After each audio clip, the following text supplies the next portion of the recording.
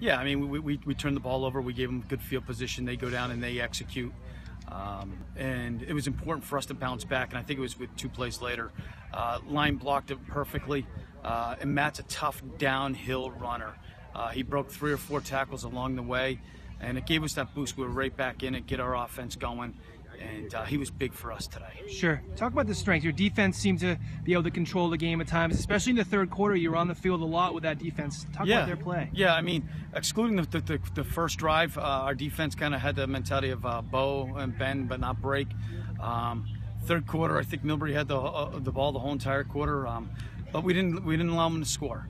And um, uh, that's the type of defense that we played today. We, we shored some things up after the first drive, and uh, the kids came out hitting better after that. And then, like you said, the second half, we got the safety, which really uh, propelled and, and, changed the momentum. Sure. And overall, you're 2 and 0. Yep. How do you assess your team early on here?